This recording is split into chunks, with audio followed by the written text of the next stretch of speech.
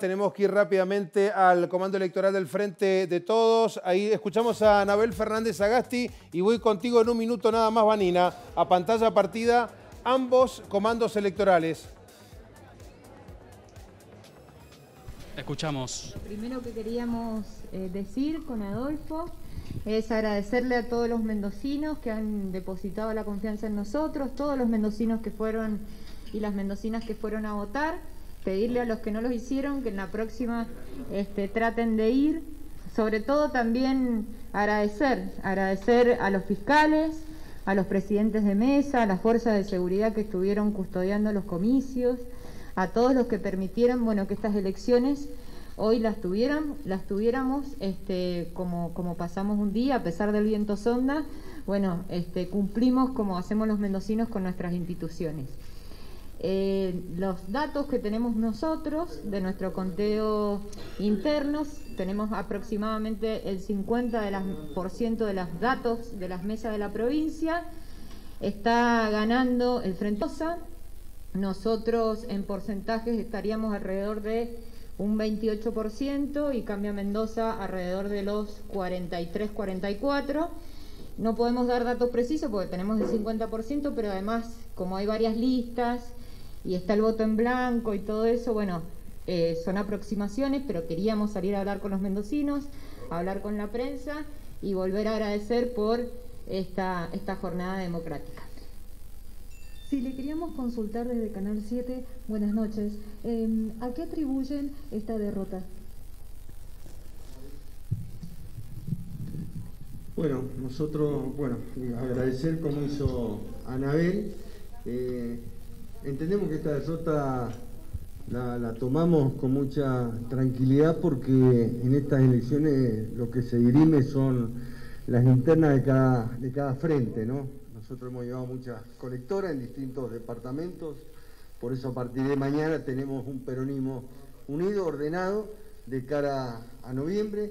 Entendemos que la, la falla puede haber estado en la falta de saber comunicar mejor nuestra propuesta, ha habido una oferta electoral demasiado, bastante amplia, ahora se va a concentrar todo en menos partidos, la oferta electoral para noviembre va a ser mucho menor, así que nuestro trabajo va a ser motivación, buena comunicación, trabajar fundamentalmente en nuestro proyecto, presentarlo quizás de otra manera, comunicarlo mejor, creo que ahí va a estar la estrategia y por supuesto asumimos la responsabilidad del resultado nosotros. Eh, Sebastián Goiguro para Canal 9. Eh, ¿Hacia dónde creen que eh, fue el voto que habitualmente o en elecciones anteriores tenía el Frente de Todos? ¿Y cómo evalúan la incidencia que pueda tener la política nacional en la realidad provincial? Lo primero que voy a decir, y como lo dije esta mañana cuando fui a votar, es que hoy los que hablan son los mendocinos y las mendocinas que nosotros escuchamos lo que, lo que dijeron los mendocinos a través de su, de su voto, que es una manifestación y por supuesto eso nosotros lo tomamos con mucha humildad y, como dijimos con Adolfo, toda la campaña. Este, para nosotros perder es no volver a, levantarse. Nosotros mañana nos vamos a levantar con más fuerza que nunca, ir a buscar a los mendocinos y a las mendocinas que eh, no confiaron en frente de todos o que confiaron en, otras fuerzas. Y bueno, explicarle eh, todas las ganas que tenemos eh, de trabajar por la provincia de Mendoza. Creo que eso es lo más importante del día de hoy. Hoy el pueblo mendocino habló, hay que ser muy respetuosos de eso. Y bueno, mañana nos vamos a levantar con Adolfo y vamos a seguir este, buscando y recorriendo la provincia. Vamos a ir por la tercera vez, así que bueno, vamos a ir a cada rincón de la provincia hablar con todos los mendocinos y las mendocinas. Eh, senadora Sagasti para Aurora Argentina en vivo. Bueno, lo que le quería consultar era, eh, justamente retomando un poco la pregunta del colega, eh, ¿qué aspecto o qué factor cree que a nivel nacional puede haber sido la respuesta de los mendocinos, digo, como para pensar también en trabajar en la futura elección? En realidad creemos que es muy prematuro, ¿no? Estos resultados merecen un análisis más tranquilo, con, más tiempo. Nosotros volvemos a repetir que entendemos que hay que caminar más la provincia, que tenemos que transmitir mejor cuáles son nuestras propuestas, nuestros proyectos. Volvemos a repetir, hemos hecho una campaña provincial con donde hay una oferta electoral bastante amplia. Concentrar en nuestro trabajo es lo más importante. Recién están escrutadas el 50% de, de, las mesas. Nosotros aquí en, este lugar hemos estado recepcionando eh, la votación en términos generales. Tenemos muy poco detalle de lo que está ocurriendo en los departamentos.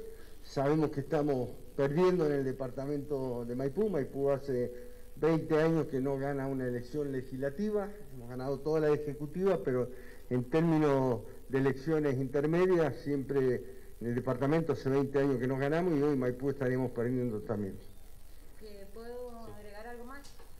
Lo que queremos también remarcar es que si hoy fueran las elecciones, el peronismo estaría metiendo dos diputados nacionales, siempre las elecciones tienen que este, eh, compararse con las de cuatro años atrás, es decir, a la 2017. Nosotros estaríamos, si hoy fueran las elecciones generales, recuperando legisladores, recuperando eh, concejales, recuperando un legislador nacional. Lo que quiero decir con eso, no estamos festejando nada, absolutamente nada, sino que el trabajo de la unidad del peronismo, de hablar con cada uno de los compañeros y hacer una oferta que tenga que ver con los intereses de los mendocinos, bueno, nos ha, nos, nos ha mostrado que hemos dado un pasito adelante y eso también nos da entusiasmo para mañana levantarnos, como decimos, y salir